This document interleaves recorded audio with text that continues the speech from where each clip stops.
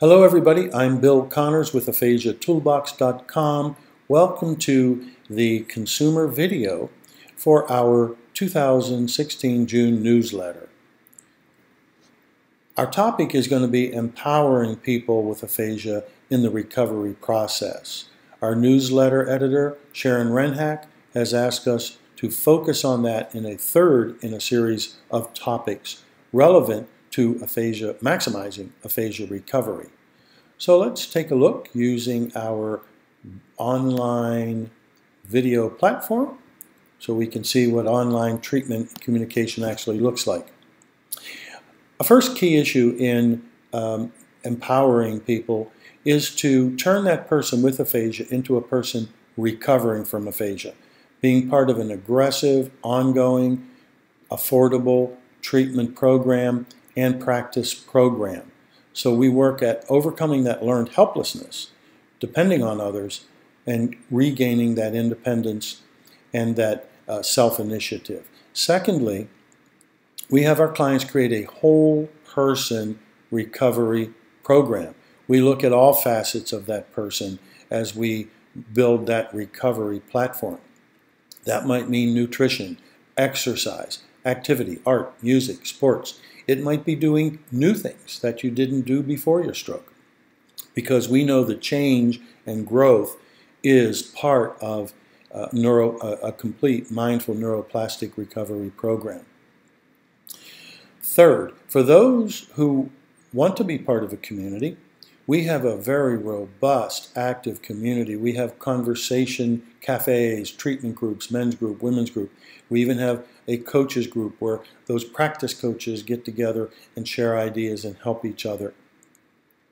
So part of that whole recovery is engaging others, uh, both of, of kindred spirit and to get ideas and practice.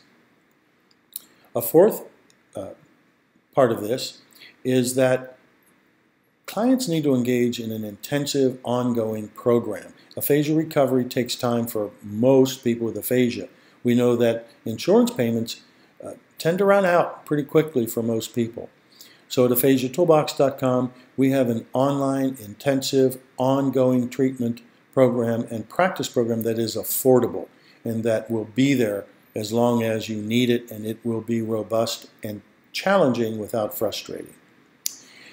A fifth point is that we early on get our clients working from their own thoughts, their own memory, rather than a myopic uh, drill uh, or worksheets. Our clients are early on pausing, thinking, being, mind, being mindful, and letting out uh, their, their words and their sentences uh, independently from their own ideas in what we call propositional interactions.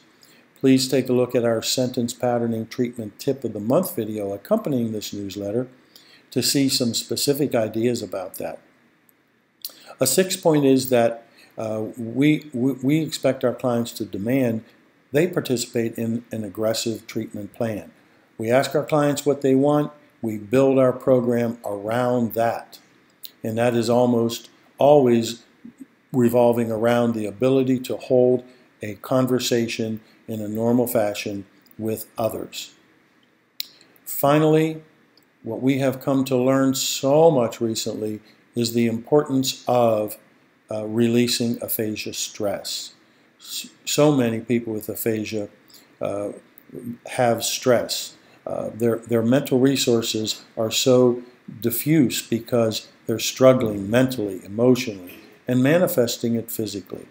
So we are finding ways to release that so that we put that person puts their brain in position to function in a more normal, in a more in a more normal mental process state and to allow their thoughts to flow in a smoother, easier fashion.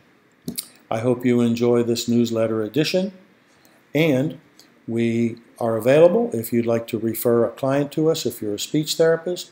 If you're a customer or consumer interested, by all means contact us at bill at aphasiatoolbox.com or call 724 494 2534.